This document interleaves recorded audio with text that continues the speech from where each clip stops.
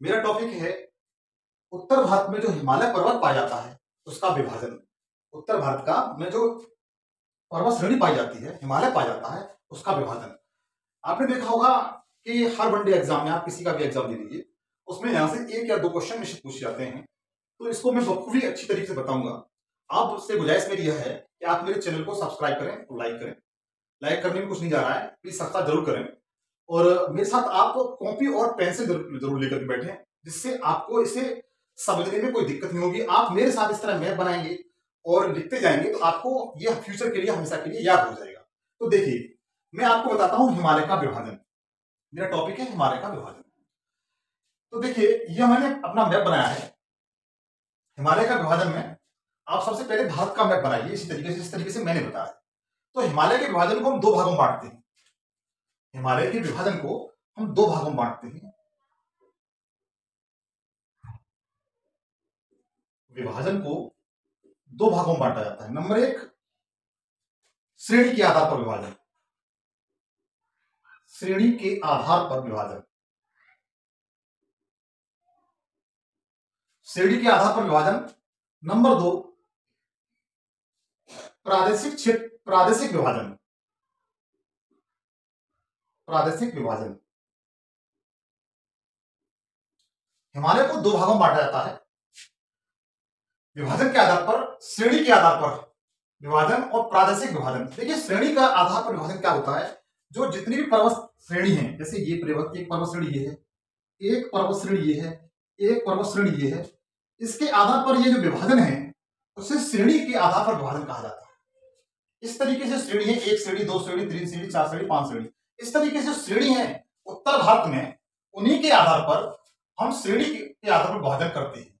जबकि प्रादेशिकता के, प्रादेशिक विभाजन जो होता है, वो एक क्षेत्र विभाजन होता है। प्रादेशिक विभाजन कैसा होता है? क्षेत्र विभाजन होता है। जैसे जम्मू कश्मीर की श्रेणियाँ, हिमाचल प्रदेश की श्रेणियाँ, उत्तराखंड की श्रेणियाँ, इधर पूर्वोत्तर की श्रेणियाँ, इसको हम प्रादेशिक विभाजन कहते हैं, जो क्षेत्र के आधार पर विभाजन होता है।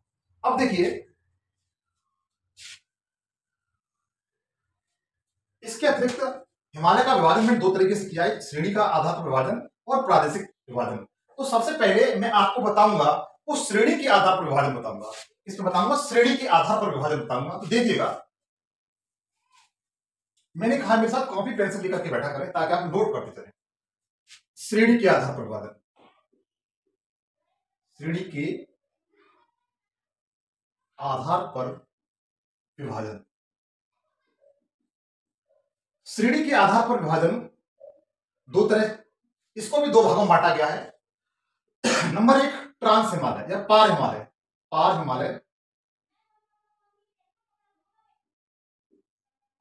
या ट्रांस हिमालय। ट्रांस हिमालय। श्रेणी के आधार पर भी हिमालय को दो भागों में बांटा गया है। नंबर एक, पार हिमालय या ट्रांस हिमालय। नंबर दो मुख्य हिमालय मुख्य हिमालय। मुख्य हिमालय। इसको भी दो भागों में बांटा गया है। पार हिमालय ट्रांस हिमालय, दूसरा मुख्य हिमालय। देखिए, इसके अतिरिक्त मैं सबसे पहले मुख्य हिमालय के बारे में बताऊँगा। जो सबसे पहले बताऊँगा, वो मुख्य हिमालय के बारे में बताऊँगा, ट्रांस हिमालय के बारे में इसके बाद बताऊँगा। तो मेरा जो टॉपिक होगा, वो मुख्य हिमालय होगा सबसे पहले। सबसे पहले मुख्य हिमालय होगा। फिर एक बार देखिए, हिमालय का हिमालय का विभाजन मैंने दो भागों में किया था। एक तो श्रेणी के आधार पर विभाजन, दूसरा प्रादेशिक क्षेत्र के आधार पर विभाजन। श्रेणी के आधार पर मैंने बताया था आपको कि उत्तर भारत में जो भी श्रेणियाँ हैं, जैसे यहाँ तक ये श्रेणी फैली हुई है, एक श्रेणी यहाँ तक फैली हुई है, एक श्रेणी यहाँ तक फैली हुई है। तो जो पर्वत श्रेणियाँ हैं, उनके आधार पर विभाजन होता है। और जब प्रादेशिक के आधार पर बताया था, मैंने क्षेत्र विशेष फैली हुई क्षेत्र, जो पर्वत श्रेणियाँ हैं, उसके आधार पर विभाजन अब मैं बता श्रेणी के आधार पर भी आप हिमालय को दो भागों में बांटा गया है। एक पार हिमालय या ट्रांस हिमालय कहते हैं। दूसरा होता है मुख्य हिमालय। तो मैं इसमें सबसे पहले बताऊँगा, वो मुख्य हिमालय बताऊँगा। देखिएगा मुख्य हिमालय के बारे में। आप कॉपी पेंसिल लेके साथ रखिए, इसे नोट करते चलिए। मुख्य हिमालय।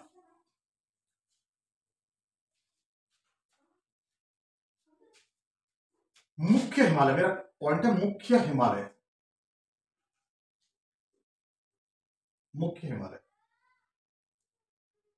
देखिए मित्र, मुख्य हिमालय को भी तीन भागों में बांटा जाता है। मुख्य हिमालय को भी तीन भागों में बांटा जाता है। सबसे पहले बृहद या हिमाद्री, एक ही नाम है ये, या महान हिमालय। महान हिमालय। देखिए, मुख्य हिमालय को तीन भागों में बांटा जाता है। बृहद हिमालय, हिमाद्री या महान हिमालय, बात एक ही है। एक आपका ये हो गया। दूसरा हुआ मुख्य हिमालय फ़र्स्ट सेकंड मुख्य हिमालय। मुख्य सॉरी लघु या मध्य हिमालय। दूसरा है लघु या मध्य हिमालय। लघु या मध्य हिमालय जबकि तीसरा है, शिवालिंग की श्रेणियाँ। शिवालिंग की श्रेणियाँ। मैंने मुख्य हिमालय का विभाजन दो तरीके से किया, तीन तरीके से किया। नंबर एक, बृहद या हिमाद्री महान हिमालय। बृहद हिमालय, हिमाद्री हिमालय या महान हिमालय एक ही है। दूसरा, लघु या मध्य हिमालय। तीसरा है शिवालिंग की श्रेणियाँ। तो मैं सबसे पहले मुख्य हिमालय बताऊँगा। सबसे पहले मुख्य हिमालय बताऊँगा। तो देखिएगा मेरे साथ आप, मुख्य हिमालय कहाँ से कहाँ तक है? देखिए, इसको आप लिख लीजिए। मिटाना बहुत ज़रूरी है, क्योंकि मुझे आगे बताना है। स्क्रीन शॉट ले लीजिए इसका।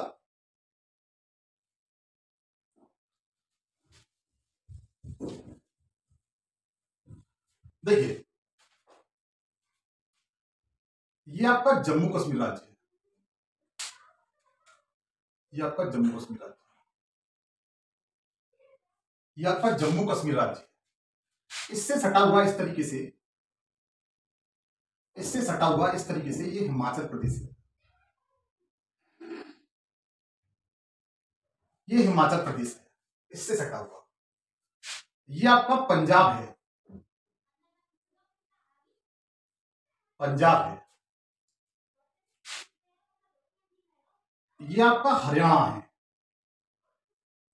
लिख दूँगा सबको मैं। और ये आपका उत्तराखंड है। उत्तराखंड है। ये आपका उत्तराखंड है। ये जम्मू कश्मीर है। ये क्या है? जम्मू कश्मीर है। कश्मीर। ये पंजाब है आपका। पंजाब राज्य ये हरियाणा है। ये उत्तराखंड है।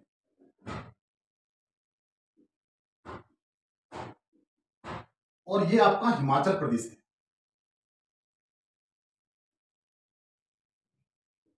हिमाचल प्रदेश है। और ये क्षेत्र है आपका लद्दाख है। ये लद्दाख है। लद्दाख केंद्र शासित प्रदेश है। वन सेकंड, प्रश्न आ रहा है ये लद्दाख है। तो जो मैंने आपको बताया था कि जो बृहद या महान हिमालय है, या मुख्य हिमालय है, वो कहाँ से कहाँ तक फैला हुआ है? और ये तीन श्रेणियों में फैला हुआ है, मैं तीनों श्रेणियाँ बताता हूँ। देखिए, एक श्रेणी आपकी इस तरीके से आती है।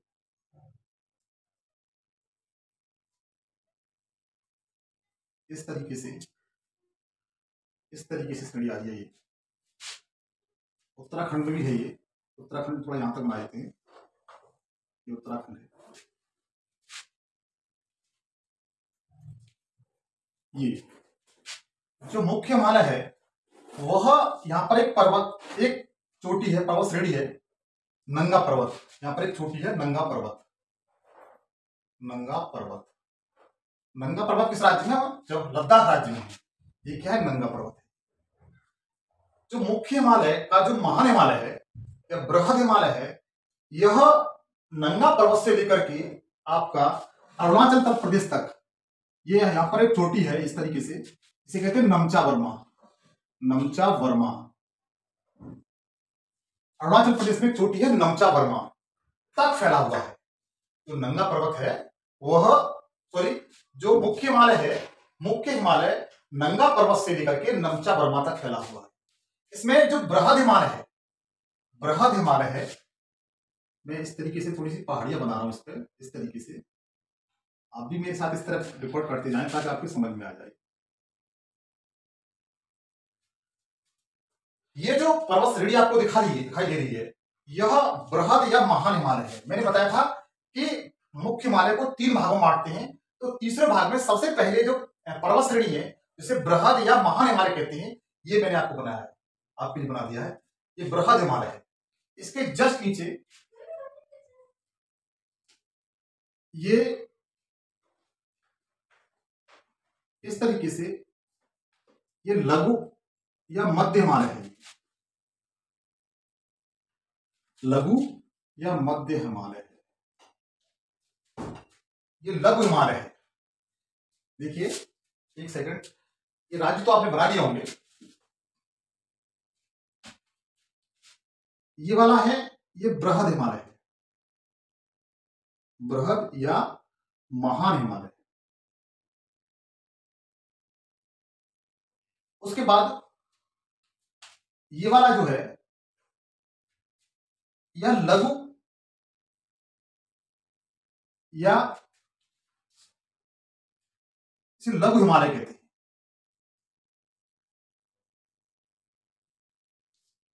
इसे लघु हिमालय कहते हैं, या मध्य हिमालय कहते हैं।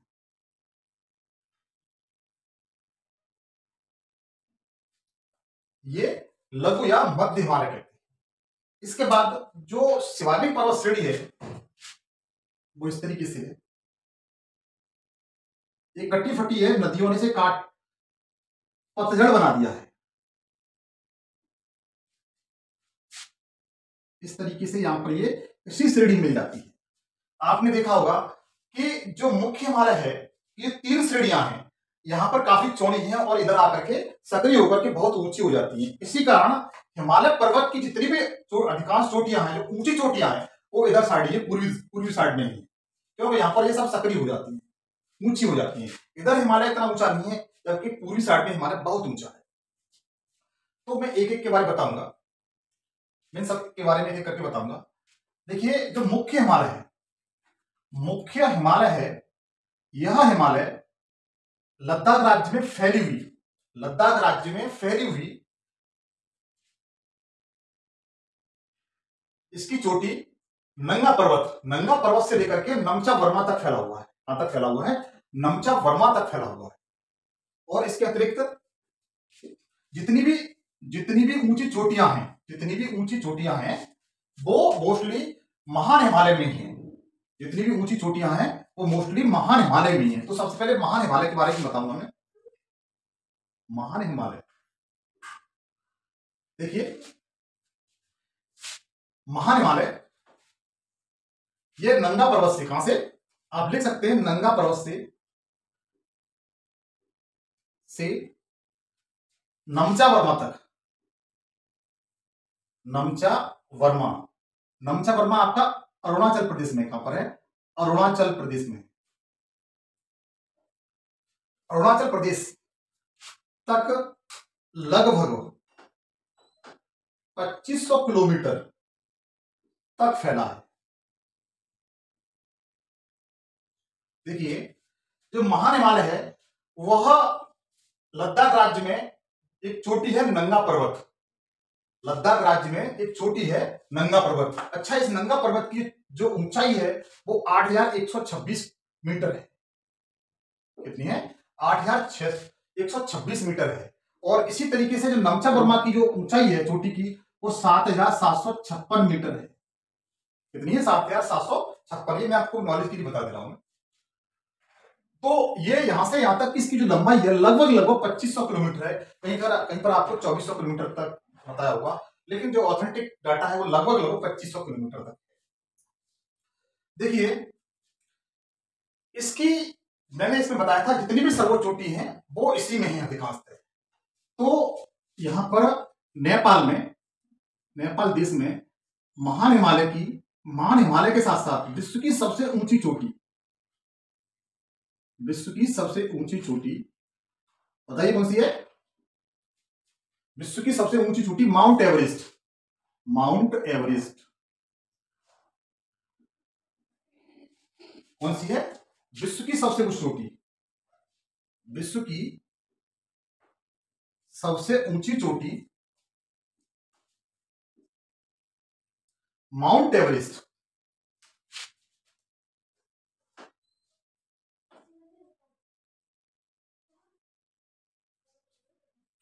माउंट एवरेस्ट महान हिमालय पर है।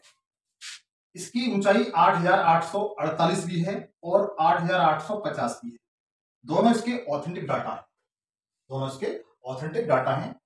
महान हिमालय पर विश्व की सबसे ऊँची चोटी है माउंट एवरेस्ट जिसकी ऊंचाई 8,848 मीटर है। और यह नेपाल देश में है। कहाँ पर है ये? नेपाल में है। कहाँ पर है? नेपाल। नेपाल देश में है। महान हिमालय की सर्वोच्च चोटी माउंट एवरेस्ट जिसकी ऊंचाई 8,848 या 50 है वह नेपाल देश में है। कहाँ पर है? नेपाल देश में। महान हिमालय नंगा पर्वत से अरुणाचल प्रदेश में फैले में स्थित नमचा वर्मा तक फैला हुआ है। इसकी भारत में जो सबसे ऊँची चोटी है वो सिक्किम राज्य में है। देखिए भारत में इसकी सबसे ऊँची चोटी है, वो कंचनजंगा है। कंचनजंगा। कंचनजंगा है। इसकी ऊंचाई आठ हज़ार पाँच सौ अठानवे मीटर है। इसकी ऊंचाई कितनी है? आठ हज़ार पाँच सौ अठानवे मीटर है। देखिए, कंचनजंगा भारत में सबसे ऊँची चोटी है। कंचनजंगा भारत में सबसे ऊँची चोटी है। नोट कर लिख लीजिए आप। कंचनजंगा इसी की है, मैं इसी के बारे में बता रहा हूँ, महान हिमालय के बारे में। कंचनजंगा इसकी ऊंचाई कितनी बताई थी मैंने आपको? आठ हज़ार पाँच सौ अठानवे आठ हज़ार पाँच सौ अठानवे कभी भी ये पूछ ली जाती है। आठ हज़ार पाँच सौ अठानवे मीटर। यह सिक्किम राज्य में है। किस राज्य में है? सिक्किम राज्य में है। किस राज्य में है? सिक्किम राज्य में है। और यह भारत में सबसे ऊँची चोटी है। इसमें भारत में सबसे ऊँची चोटी है।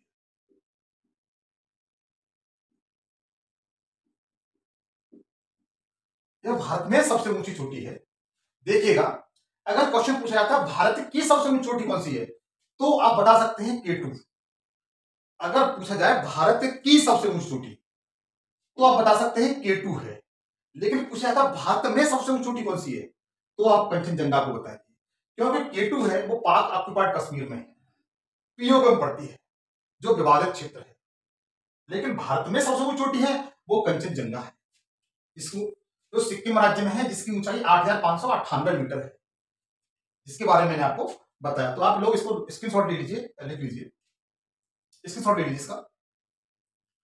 मैंने जो अभी तक केवल महान हिमालय के बारे में बताया है।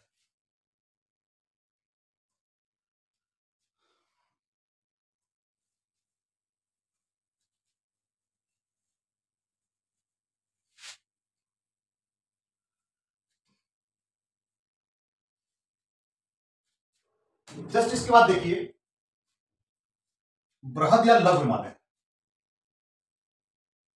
बृहद या लघु हिमालय। बृहद या लघु हिमालय। देखिए सॉरी इसे मध्य हिमालय कहते हैं, बृहद कहते हैं मध्य हिमालय कहते हैं। मध्य या लघु हिमालय।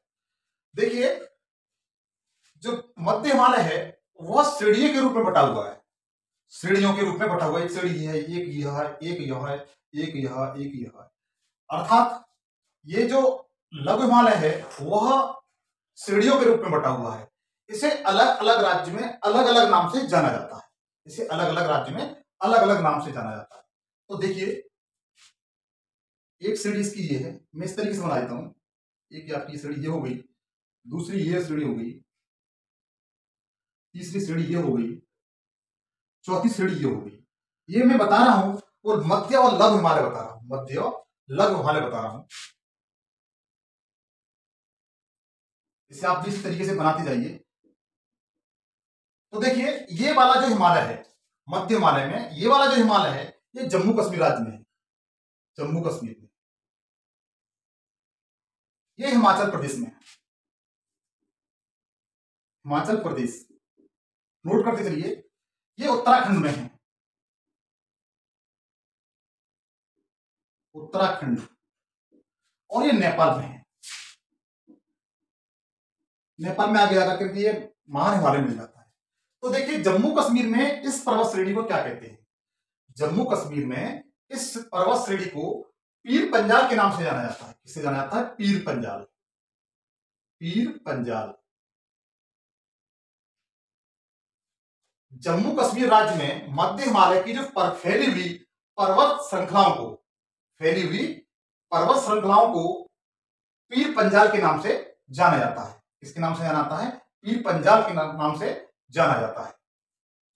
इसी तरीके से हिमाचल प्रदेश में फैली हुई मध्य हिमालय की जो पर्वत श्रेणियाँ हैं, उनको धौलाधर के नाम से जाना जाता है।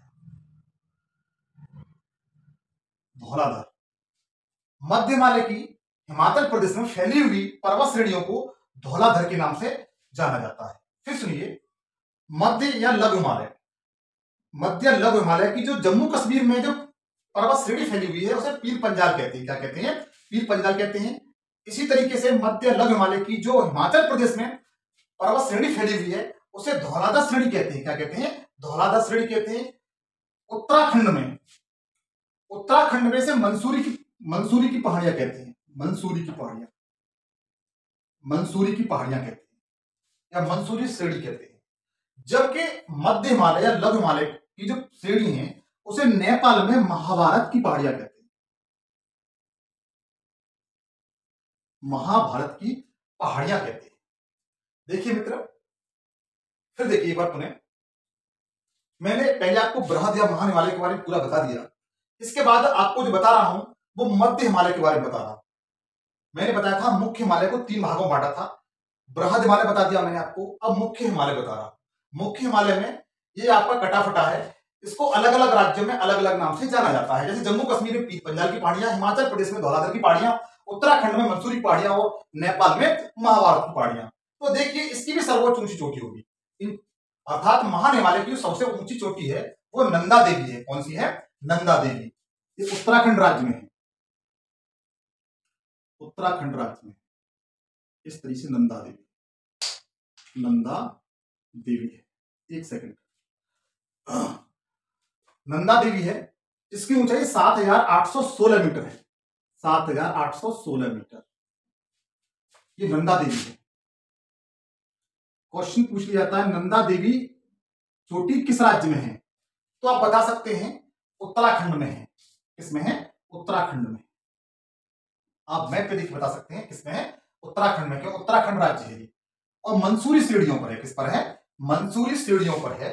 उत्तराखंड राज्य में है, नंदा देवी श्रेणी, जिसकी ऊंचाई सात हज़ार आठ सौ सोलह मीटर है। ठीक है? ये मध्य हिमालय की सबसे ऊँची चोटी है। मध्य हिमालय की सबसे ऊँची चोटी है, जो उत्तराखंड राज्य में मंसूरी पर्वत श्रेणी पर है। तो मैंने आपको इसके बारे में बताया, मध्य हिमालय या लघु हिमालय के बारे में।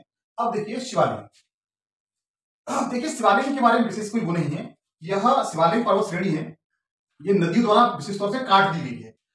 और यह नवीनतम पर्वत श्रेणी है। तो इसके बारे में थोड़ा बता देता हूँ मैं। और आगे जो इसके बारे में विशेष बताऊँगा, आगे पर्वत श्रेणी आएँगी, उसके बारे में विशेष बताऊँगा। अभी तो इसमें जो बता रहा हूँ, मोटा मोटे बता रहा हूँ।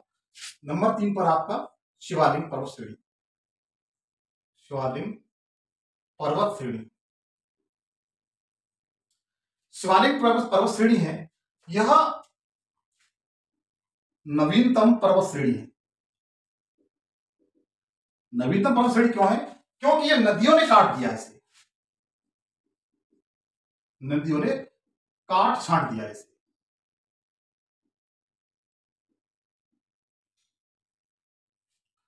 तो इसके बारे में आगे और बताऊँगा। अभी तो हालाँकि इसके बारे में ज़्यादा बोल नहीं। है देखिए, मैंने आपको मोस्टली इसके तीनों पार्ट बता दिए।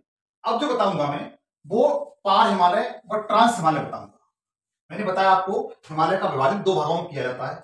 एक तो ट्रांस प्रादेशिक हिमालय, दूसरा श्रेणी हिमालय। श्रेणी हिमालय को हम दो भागों में बांटा था, एक तो मुख्य हिमालय और ट्रांस हिमालय। अब आपको जो बताने जा रहा हूँ, वो ट्रांस हिमालय बताने जा रहा हूँ। नंबर दो पे ट्रांस हिमालय।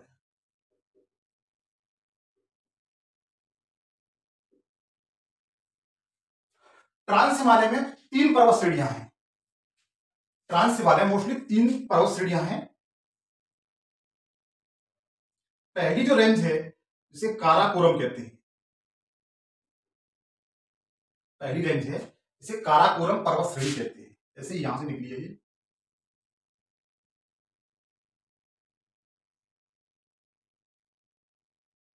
ये काराकोरम पर्वत श्रेणी है। कौन सी है? काराकोरम काराकोरम श्रेणी। ये काराकोरम श्रेणी है। उसके बाद काराकोरम जस्ट उसके बाद लद्दाख है। दूसरी कौन सी है? लद्दाख। ये सीरीज़ पूछी जाती है लद्दाख। आप लोग याद रखिए, उत्तर से दक्षिण। इसके बाद ये लद्दाख है। लद्दाख पर्वत श्रेणी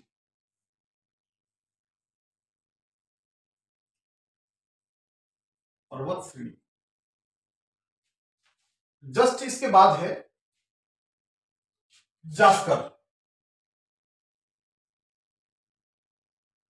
जास्कर पर्वत श्रेणी जास्कर श्रेणी मोस्टली इंडिया में तो ये दो तीन ही हैं, लेकिन इसकी एक शाखा और है। इसे केला श्रेणी के नाम से जाना जाता है। इसका, आप एक बार स्क्रीनशॉट ले लीजिए। मिटाना मेरी मजबूरी है।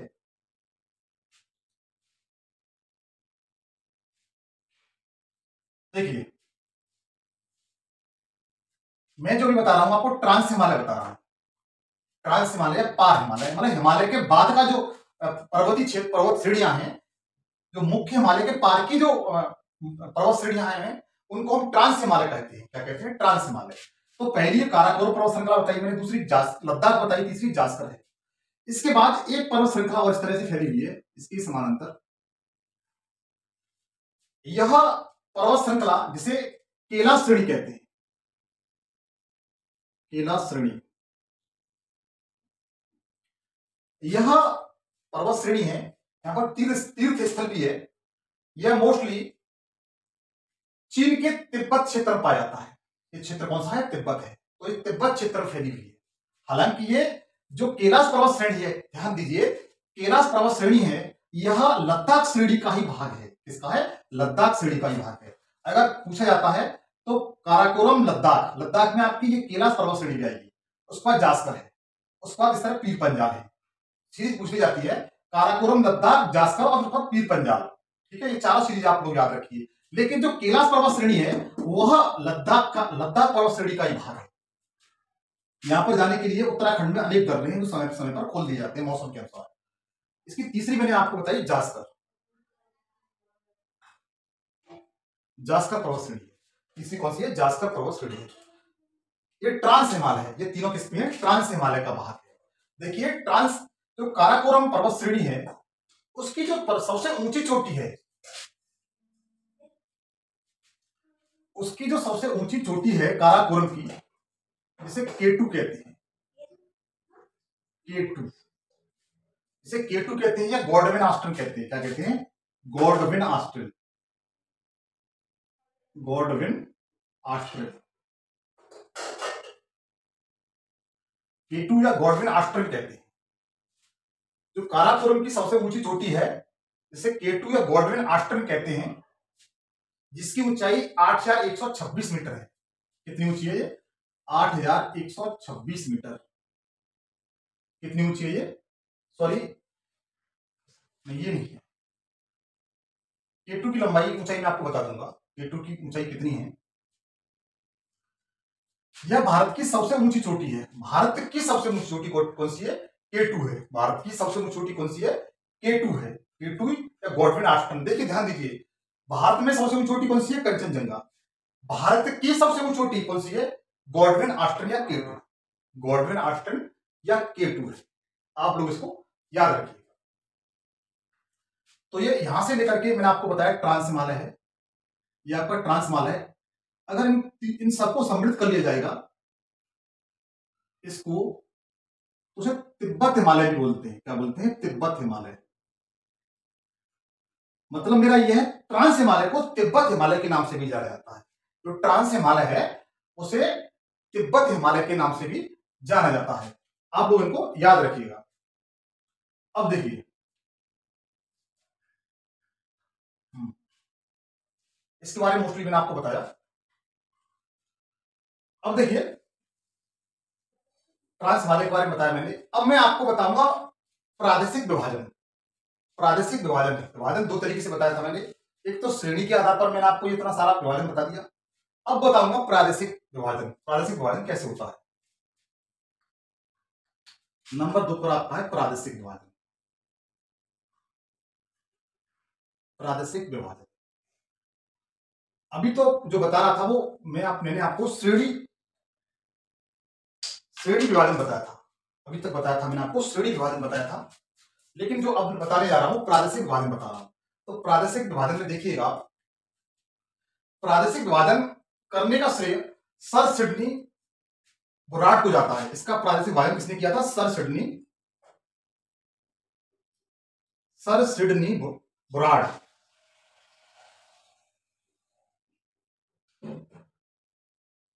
प्रादेशिक विभाजन जो किया था, सर सिडनी ब्राड ने किया था। और इसने हिमालय को किन किन भागों बांटा किन किन क्षेत्रों बांटा, वो आपको बताता हूँ। तो सबसे पहले, आप देखिए, जो यहाँ पर एक नदी बहती है, ये नदी। इस तरीके से एक नदी आज निकली हुई है। इस तरीके से एक नदी निकली हुई है, इस तरीके से। इस तरीके से इसे सिंधु नदी कहते हैं, क्या कहते हैं? सिंधु नदी कहते हैं। सिंधु नदी कहते हैं, ये मोस्टली यहाँ से को रही है। इस तरीके से। ये सिंधु नदी है। और यहाँ पर ये हिमाचल प्रदेश है। हिमाचल प्रदेश के पास में इस तरीके से एक नदी निकली है, इस तरीके से, और सिंधु विलीन हो जाती है, जिसे सतलज कहते हैं। क्या कहते हैं? सतलज कहते हैं। तो सबसे पहले इन्होंने विभाजन किया इस वाले क्षेत्र का। तो पहला विभाजन हुआ इनका पंजाब हिमालय। पंजाब हिमालय। इन्होंने सबसे पहले क्षेत्र जो जम्मू कश्मीर राज्य वाला ये वाला है और सिंधु नदी और सतलज नदी सतलज नदी वाला क्षेत्र के बीच का जो हिमालय क्षेत्र है उसको उन्होंने पंजा, पंजाब हिमालय नाम दिया। कौन सा नाम दिया? पंजाब हिमालय। पंजाब हिमालय कहाँ से कहाँ तक है? सिंधु नदी से, सिंधु नदी से सतलज नदी नदी। सिंधु नदी से सतलज नदी, सिंधु नदी यहाँ से इस तरीके से निकली हुई है, ये वाला क्षेत्र है। और यहाँ पर सतलज नदी निकली हुई है इस तरीके से के बीच का जो क्षेत्र है, जिसे इन्होंने पंजाब हिमालय नाम बताया, क्या बताया? ये पंजाब हिमालय है। पंजाब मतलब पंजाब हिमालय की सबसे ऊँची चोटी है, उसे केटू बताया, क्या बताया? केटू पंजाब हिमालय की क्योंकि मोस्टली सारा क्षेत्र इसी में आ जाता है। पंजाब हिमालय की की सर्वोच्च चोटी। पंजाब हिमालय की सर्वोच्च चोटी है, वो के टू है, या गॉडविन ऑस्टिन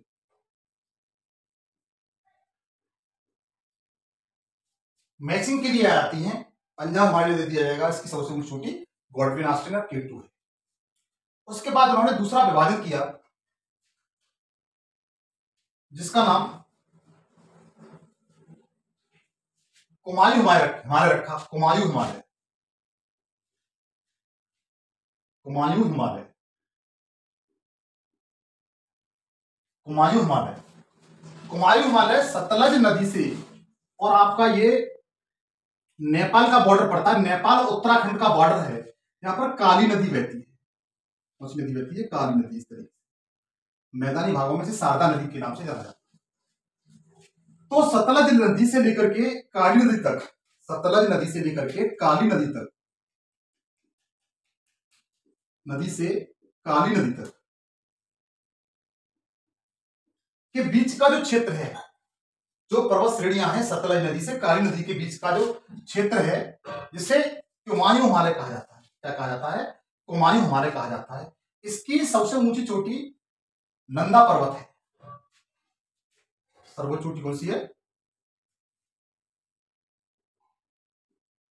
नंदा देवी। नंदा देवी। इसकी सबसे ऊँची चोटी कौन सी है? नंदा देवी है। इसके बाद तो तीसरा उन्होंने विभाजन किया, उसे नेपाल हिमालय कहते हैं। क्या कहते हैं? नेपाल हिमालय। नेपाल हिमालय, काली नदी से लेकर के यहाँ पर सिक्किम राज्य में बहने वाली तिस्ता नदी। सिक्किम राज्य में बहने वाली तिस्ता नदी मतलब काली नदी से से तिस्ता नदी तक। तक का जो क्षेत्र है जिसे नेपाल हिमालय के नाम से जाना जाता है। सब सटनी बुराड ने इसे नेपाल हिमालय को काली नदी से, जो उत्तराखंड और नेपाल के बॉर्डर पर बहती है, काली नदी, वहाँ से लेकर के जो सिक्किम राज्य में बहने वाली तिस्ता नदी के बीच का क्षेत्र है, उसे नेपाल हिमालय के नाम से जाना जाता है। नेक्स्ट उन्होंने बताया, सर सडनी ब्राड ने असम हिमालय बताया। असम हिमालय। असम हिमालय, यह हिमालय मोस्टली जो तिस्ता नदी है तिस्ता नदी से लेकर के यहाँ पर ब्रह्मपुत्र नदी बहती है, जिसे दिहांग कहते हैं। क्या कहते हैं? दिहांग कहते हैं। तो यह क्षेत्र तिस्ता नदी से, तिस्ता नदी से ब्रह्मपुत्र ब्रह्मपुत्र या देहांग। नदी के बीच का क्षेत्र है। तिस्ता नदी से देहांग नदी या ब्रह्मपुत्र नदी के बीच का क्षेत्र है, जिसे असम हिमालय कहा गया क्या कहा, क्या कहा गया? असम हिमालय कहा गया। और आगे देखिए यहाँ पर भी पूर्वी भारत में भी इसकी हिमालय की पर्वत श्रेणियाँ हैं। जैसे अलग अलग राज्यों में अलग अलग नाम से जाना जाता है लेकिन इसे पूर्वोत्तर की पहाड़ियाँ कहते हैं। जिसे क्या कहते हैं? पूर्वोत्तर की पहाड़ियाँ कहते हैं। इसे पूर्वोत्तर की पहाड़ियाँ कहते हैं। इसके साथ आपने देखा होगा इसके सहारे पर्वत श्रेणी फैली हुई है इस तरीके से जो म्योमा राज्य म्योमा देश में है बर्मा में है म्योमार में है। हिमालय को जो बर्मा में हिमालय को अराकाम यो अराकाम युवा कहते हैं। अराकाम युवा अगर पूछा जाता है अराकाम युवा पर्वत श्रेणी किस देश में है तो वह म्यांमार में है, और यह हिमालय पर्वत श्रेणी का ही विस्तार है। और यह हिमालय पर्वत श्रेणी का ही विस्तार है। और यह यह अराकाम युवा पर्वत श्रेणी जो हिमालय का विस्तार है, यह हिमालय यहीं पर खत्म नहीं हो गया। यहाँ पर आपको जो द्वीप दिखाई देते होंगे अंडमान निकोबार द्वीप समूह। यह हिमालय का ही पर्वत श्रेणियों की भाग है। यह हिमालय पर्वत श्रेणियों का ही भाग है, जो अंडमान निकोबार द्वीप समूह है। यह अराकाम युमा अर्थात हिमालय पर्वत श्रेणी का ये भाग है। तो आपकी हिमालय पर्वत श्रेणी यहाँ से लेकर के यहाँ तक अराकाम युमा और ये यहाँ तक बंगाली खाड़ी में अंडमान निकोबार द्वीप समूह तक फैली हुई है। ये मैंने आपको बताया, प्रादेशिक विभाजन आपको बताया इसे आप एक दो बार रिवीजन कर लीजिए, एक दो बार वीडियो को देखिए तो मैं जानता हूँ आपको लगभग सब कुछ याद हो जाएगा। यहाँ पर मैं आपको एक कौन मित्र बताना भूल गया। ये सिंधु नदी है, ये सिंधु नदी है। सिंधु नदी भारत में सबसे बड़े गार्ज का निर्माण करती है। नोट करके लिखना आप भारत का सबसे बड़ा, सबसे गहरा गार्ज लद्दाख राज्य में, किसमें है? लद्दाख राज्य में सिंधु नदी का है, जो लगभग बावन सौ मीटर है, जो लगभग पाँच किलोमीटर या बावन सौ मीटर है। गाज कहते हैं? इस तरह की पर्वत श्रेणी होती है, एकदम खड़ी हुई इस तरीके से, इस तरीके से। ये घास है, यहाँ पर कोई न तो दर्रा हो सकता है, ना यहाँ पर घाटी हो सकती है। ये बहुत ही सकरा पतला मार्ग होता है, जिससे होकर के ये सिंध नदी बहती है। ये भारत का सबसे गहरा घास है, जो लगभग पाँच हज़ार मीटर है, और पाँच किलोमीटर है। मित्रों, आज ही आपको, आज जो मैंने आपको बताया, आप एक दो बार इसे देखिए, आपके सबको समझ में आ जाएगा। बहुत अच्छा यहाँ से क्वेश्चन पूछे जाते हैं, पूछे जाते हैं तो आप इन्हें बता सकते हैं। आज के लिए इतना ही। धन्यवाद।